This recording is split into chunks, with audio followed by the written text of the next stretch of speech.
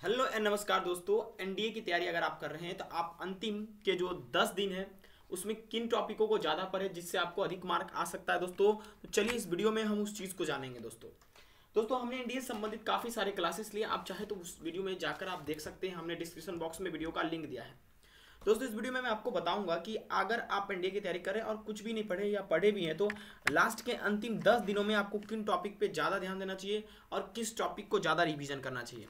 दोस्तों सबसे पहले मैं अगर मैथ्स की बात करूँ तो मैथ्स में आपको क्या ध्यान देने पड़ेंगे? मैथ्स में फॉर्मूलेज दोस्तों और पी वाई क्यू अभी के टाइम में वही लगाइए previous year question okay maths के लिए आपको इतना ही करना यही आपका कट ऑफ़ क्लियर करवा देगा। अब हम बात कर लेते हैं कि जीके में आप बहुत ज़्यादा परेशान होते होंगे कि हमें क्या टॉपिक पढ़े क्या ना पढ़े।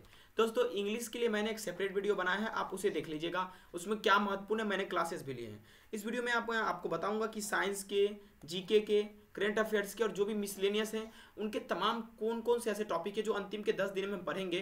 तो हम मोर देन दोस्तों उसमें क्या कह सकते हैं, जो हमारा गेट का पेपर है, इसमें दोस्तों हम लोग मोर देन एटी क्वेश्चन सही कर सकते हैं, आराम से दोस्तों, ठीक है? देखिए वो दोनों इंग्लिश पेपर मिलाकर, ठीक है, अब साइंस के चालीस क्वेश्चन होते हैं, ठीक है, ध्यान रखिएगा, और बाकी चालीस से पचास साइंस के होते हैं, और बाकी चालीस से पचास क्वेश्चन आपके जो होते हैं हिस्ट्री जोग्राफी से होते हैं, दस दस से पंद्रह क्वेश्चन या दस क्वेश्चन आपके करंट अफेयर से होते हैं, ठीक है? चलिए हम आपको बताते हैं उस टॉपिक का नाम। दोस्तों अगर आप एनडीए के साइंस का सिलेबस देखेंगे उसमें दोस्तों फिजिक्स का सबसे अधिक विटेज है। इससे 25 क्वेश्चन पूछे जाते हैं हर साल। इस बार भी आने की संभावना है 25 क्वेश्चन ठीक है?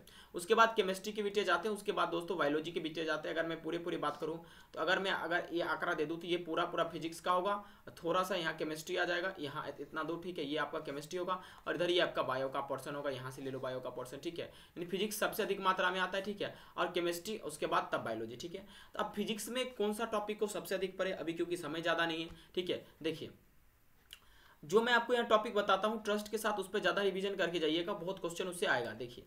उस टॉपिक टॉपिक का नाम है ऑप्टिक्स जी हाँ दोस्तों लाइट चैप्टर लाइट चैप्टर को अगर अगर अभी नहीं पढ़े हैं आप या पढ़ भी लिए तो बार बार उसको रिवीजन कीजिए, उससे एक दो क्वेश्चन टपकेगा। और उस, उसके बाद दोस्तों इलेक्ट्रिसिटी इलेक्ट्रिसिटी को भी अच्छे से पढ़ना है, खासकर रेजिस्टेंस वगैरह के बारे में पढ़ लेना है। उसके बाद force and laws of motion से भी क्वेश्चन आएँगे। कलर कोड प्लस प्रिज्म दोनों से क्वेश्चन आते हैं। जैसे कि अगर हम ब्लू रेड को मिलाएँगे, कौन सा कलर बनेगा? रेड ब्लू को मिलाएँगे, कौन सा कलर मिलेगा? व्हाइट ब्लैक को बनाएँगे तो कौन सा कलर मिलेगा? इस तरह के तमाम क्वेश्चन इसके बाद दोस्तों प्रिज में राइट लाइट का जो रिफ्लेक्शन होता है लाइट का लेंथ उसके बाद दोस्तों, उसके अलावा जो कलर का भी रिफ्लेक्शन होता है, उसका भी पूरी जानकारी आपको होनी चाहिए, अगर आप एनडी की तैयारी कर रहे हैं तो। इस टॉपिक पे आप ज़्यादा फोकस कीजिए, ज़्यादा पढ़ने की कोशिश ना करें, इधर उधर से, ठीक है? Okay sound plus wave chapter भी अगर आप पढ़े तो उसको रिवीजन कीजिए, नहीं पढ़े हैं तो फिर भी एक दो वीडियो में कंप्लीट ही हो जाएगा। मेज़रमेंट और एसआई यूनिट दोस्तों, जैसे कि मान लीजिए अगर हम लाइट ईयर की बात करें तो इसका, अगर हम कहेंगे तो इसको मीटर में मेजर किया जाता है, ठीक है? ये भी आपको दिमाग में रखने, कई बार इस पर क्वेश्चन पूछा जाता है। जो भी मेज़रमेंट है और उसका ऐसा यूनिट ये दिमाग में आपको ध्यान रखना है, इससे भी क्वेश्चन आते हैं। तो फिजिक्स में आपको इतना करना है। इसके अलावा आप अभी टाइम है पी वाई क्यू लगाइए। प्रीवियस ईयर क्वेश्चन जो भी पंद्रह के बाद आए हैं, उसको करने का प्रयास करें, ठीक है? पंद्रह के बाद। ओके दोस्तों तो आप फिजिक्स में बीस से अधिक क्वेश्चन बना सकते हैं आसानी से, इतना कम समय में। ये स्मार्ट स्ट्रेटेजी होता है, पूरी किताब को न पढ़कर, जो महत्वपूर्ण है उसी को पढ़े, ठीक है? अब बात करते केमिस्ट्री की।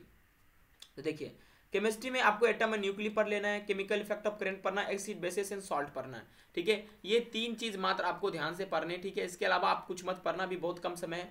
इसी से जो क्वेश्चन टपकने होंगे, टपकेंगे, ठीक है?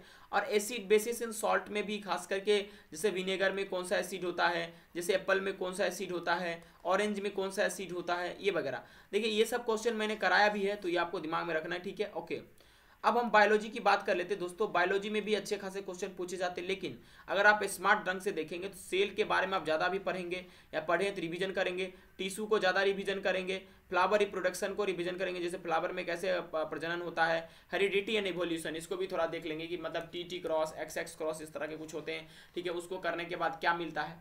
ये तमाम टॉपिक आप एनसीईआरटी को भी रेफर करके क्विक रिवीजन कर सकते हैं, ठीक है? कोई भी दिक्कत नहीं होगा, कम समय में आप ज़्यादा कर सकते हैं। ये तो आपके एकेडमिक टॉपिक है, लेकिन इसके अलावा कुछ जनरल साइंस में भी आपको विशेष रूप से रिविजन करना है, पढ़ना है, ठीक है?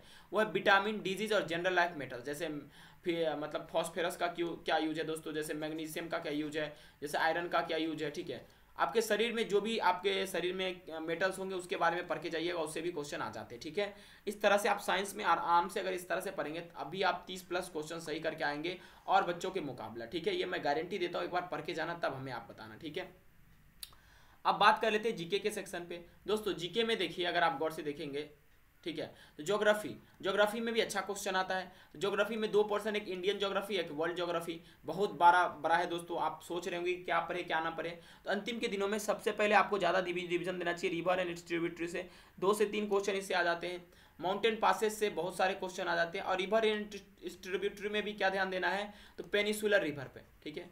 पेनिसुलर रिवर पे ज़्यादा ध्यान देना, जैसे आपका मान लीजिए कि गोदावरी हो गया, मान लीजिए बहुत सारे ऐसे रिवर हैं, ठीक है। उसके बाद डैम्स पे ध्यान देना, ठीक है, कि भाखरा नागल डैम कहाँ है, उसके बाद चुट्टक डैम कहाँ है, उसके बाद जो स्टेट बिगर है, स्मॉलर है, इस पर भी ध्यान देना, मान लीजिए चार स्टेट नीचे से मिजोरम अरुणाचल प्रदेश, नागालैंड और मणिपुर। इन चारों में बड़ा कौन है, छोटा कौन है, इसको बेस्ट से इस तरह से अरेंज कीजिए, ये सब चीज़ें आपको दिमाग में रखने होंगे। अभी के तौर पे जो प्लेस न्यूज़ में रहे जहाँ पर वॉल्केनो एरप्शन हुए हैं, बहुत सारी चीज़ें हुई प्लेसेस न्यूज़ में रहे हैं, उसके बारे में आपको ध्यान में रखना है। और पीवाईक्यू का बहुत अच्छे ढंग से एनालिसिस आपको करना है अंतिम के दस दिनों में। दस दिन में आपको बस इतना ही करना है, इतना करने के बाद आपको ज़्यादा नंबर आएगा, मैं गारंटी देता हूँ इंडियन जोग्राफी में। वर्ल्ड जोग्राफी में आप सोलर सिस्टम के बारे में पढ़िए, जो भी प्लेनेट है, उसका डेंसिटी क्या है बिगर है स्मॉलर है डीबीएस जो भी चीज़ है, उसको अच्छे से कर लीजिए, ठीक है? और वर्ल्ड के जो माउंटेन है, जैसे काकेसस हो गया, उसके बाद दोस्तों आपका अल्प्स हो गया, उसके बाद बहुत सारा यूराल माउंटेन है ओके अर्थ फॉर्मेशन कैसे हुआ? पृथ्वी का फॉर्मेशन कैसे हुआ? ठीक है? पृथ्वी के अंदर में कौन है? इग्नियस रॉक क्या होता है? मेटामॉर्फिक रॉक क्या होता है? ठीक है, ये सब चीज़ें। करंट के बारे में ध्यान रखना है, ठीक है? कौन सा करंट कोल्ड करंट है? कौन सा मतलब वार्म करंट है? विंड्स के बारे में ध्यान देना और वॉल्केनो और स्ट्रेट जो भी है, उसके बारे में ये सब टॉपिक जो मैंने कुछ ज़्यादा मेंशन नहीं है, आप दस दिन में इसे आराम से रिवीजन कर सकते हैं, पढ़ सकते हैं। कोई दिक्कत आपको नहीं होगा, ठीक है? ये आपको काम करने ज्योग्राफी में, इसके अलावा आप कुछ भी उलट के मत देखना, नहीं तो दिक्कत होगा। इतिहास में तीन सेक्शन होते हैं एनिसेंट मेडिवल और मॉडर्न ठीक है? अभी यूपीएससी अक्सर यूपीएससी का फेवरेट मॉडर्न होता है, ऐसा मैं नहीं कह रहा हूँ कि एनिसेंट और मेडिवल से नहीं पूछता है, लेकिन यूपीएससी सबसे अधिक मॉडर्न से पूछती है, ठीक है? तो हम लोगों को ध्यान रखना चाहिए मॉडर्न के टॉपिक को अधिक करें एनिसेंट और मेडिवल को केवल डिवीज़न करें। देखिए, आपको मैं कुल मिला के सारे टॉपिक्स बता देता हूँ, मात्र यहाँ पर मैंने मुश्किल से हार्डली पाँच से सात टॉपिक मैंने लिखा है। सबसे पहले गुप्त पीरियड आप अच्छे से पढ़ लेना, मौर्य पीरियड अच्छे से पढ़ लेना place important of places and books किस तरह से दोनों पीरियड में प्लेस और बुक का महत्व था। गांधीयन एरा पढ़ लेना कि गांधी जी का शुरुआत जैसे हुआ। तो मैंने मान लीजिए पहला उन्होंने क्या किया? बिहार में आंदोलन चंपारण किया। चंपारण के बाद मिल वाला हुआ। मिल के बाद, उसके बाद दोस्तों खेरा हुआ। खेरा के बाद नन कॉपरेशन मूवमेंट हुआ। रॉल्ट सत्याग्रह हुआ। और इसके बीच में गोन गवर्नर जनरल था, क्या था? नहीं था। ये सारी चीज़ें आपके दिमाग में होना चाहिए। गांधीयन एरा पूरा ठीक है? उसके बाद इंडियन नेशनल कांग्रेस जैसे इंडियन नेशनल कांग्रेस की स्थापना अठारह सौ पचासी में हुआ। ए ह्यूम किया था। पहला प्रेसिडेंट डब्ल्यू सी बनर्जी थे। पहला, इसका सेशन बॉम्बे बॉम्बे में हुआ था, ठीक है? और तीन बार इसके मतलब प्रेसिडेंट रहे थे आपके दादा भाई नरोजी, ठीक है? तो ये चीज़ें और गांधी जी उन्नीस सौ एक में इसमें पार्टिसिपेट किए थे प्रेसिडेंट मतलब इसका कार्यकाल में रहे थे, ठीक है? तो ये छोटी छोटी चीज़ें आपको इंडियन नेशनल कांग्रेस के बारे में ध्यान में रखने हैं, ठीक है? ओके जो ऑर्गेनाइजेशन हैं, उसके बारे में मतलब सर ऑर्गेनाइजेशन का मतलब क्या होता है? जैसे कि मान लीजिए, ब्रह्म समाज था, आर्य समाज था थियोसफिकल सोसाइटी था, उसके बाद दोस्तों बहुत सारा प्रथन समाज था, ये सब आपको दिमाग में रखने ठीक है? इसके फाउंडर कौन थे? भारत के किस भाग में ये प्रोमिनेंट था? इससे क्वेश्चन आते हैं।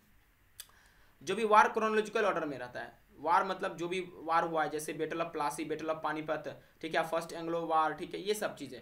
उसके बाद दोस्तों इकोनॉमिक इन्फ्लुएंस जो इंडिया पर क्या रहा ईस्ट इंडिया कंपनी का, ठीक है। ओके देखिए, जैसे कि परमानेंट सेटलमेंट लाया रोहतबारी आया, दोस्तों, ठीक है, और अलग अलग तरह का, जैसे डॉक्टर डॉक्टराइन ऑफ़ लैब्स आया अलग अलग तरह के इस तरह के दोस्तों क्या आया? आपका economic influence East India Company जो डाला, ठीक है? इस सब के बारे में ध्यान रखना कि भाई परमानेंट सेटलमेंट किसने लॉन्च किया? रोतबारी सिस्टम किसने लॉन्च किया? ठीक है?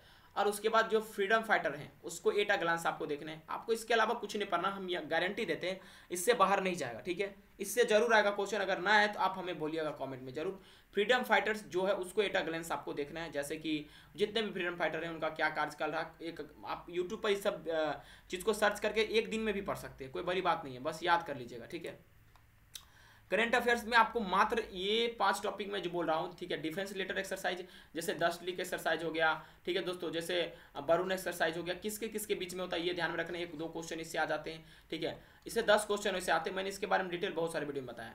डिफेंस न्यूज़ ध्यान में रखना है कि कौन सा मिसाइल लॉन्च कहाँ पर लॉन्च किया गया है, किस मिसाइल का क्या रेंज है, ठीक है? सरकार की जो भी योजना आई, अभी इकोनॉमिक जो आपका मतलब इंडियन इकोनॉमी जो अभी हुआ है बजट पेश हुआ, उसमें काफ़ी सारी योजना है, उसको भी ध्यान रखना है। और दोस्तों, ये डिफेंस रिलेटेड एक्सरसाइज या न्यूज़ मैंने इसे कवर किया डिस्क्रिप्शन बॉक्स में उसका लिंक है, ठीक है? आप उसे देख लेना। अब योजना जो होता है स्पोर्ट्स में, जैसे कि कौन खिलाड़ी किस खेल से संबंधित है, किसको कौन सा अवार्ड मिला, ये भी ध्यान में रखना। अवार्ड्स और ऑनर में, जैसे अभी पद्म विभूषण क्या वो मिला आप बताइए, ठीक है? इसके बाद दोस्तों, ये सब छोटी छोटी चीज़ें आपको दिमाग में रखने अगर ऐसा आप करते हैं तो आपके जीके के पेपर में अगर डेढ़ क्वेश्चन होते हैं इंग्लिश में, आप आराम से तीस से चालीस कर लोगे, मेरा पूरा वीडियो देख लिए होगे तो ठीक है? और बाकी के जो सौ क्वेश्चन उसमें आप साठ से सत्तर ऐसे ही कर लोगे तो आप आराम से कटअप क्लियर कर लोगे, ठीक है? ज़्यादा पढ़ने की कोई आवश्यकता नहीं है। दस दिन में मात्र इस टॉपिक को रिविजन कीजिए और इसी को पढ़िए। देखिए, अभी आपको घबराने की आवश्यकता नहीं है। जब आपको ऐसा लगेगा कि नहीं हम मोटिवेट हम नहीं हो रहे, हमारा मोटिवेशन कम हो रहा है तो प्लीज़ आप लोग जो सैड सॉन्ग है ना, उसे ना सुना करें, ठीक है? ये सबसे बड़ा प्रॉब्लम होता है, आप लोग अच्छा सॉन्ग सुने जिससे आपको मोटिवेशन मिले और पढ़ते रहे, ठीक है? अभी आप कम से कम दस से बारह घंटा पढ़िए अच्छे से, तब नींद लीजिए, अच्छे से सोइए और एग्ज़ाम निकालिए, ठीक है? कोई बड़ी बात नहीं, ठीक है? दोस्तों वीडियो अच्छा लगा तो आप अपने तमाम दोस्तों के साथ शेयर ज़रूर कीजिए। Thank you very much for watching this video मिलते हैं अगले वीडियो में इसी सोच के साथ।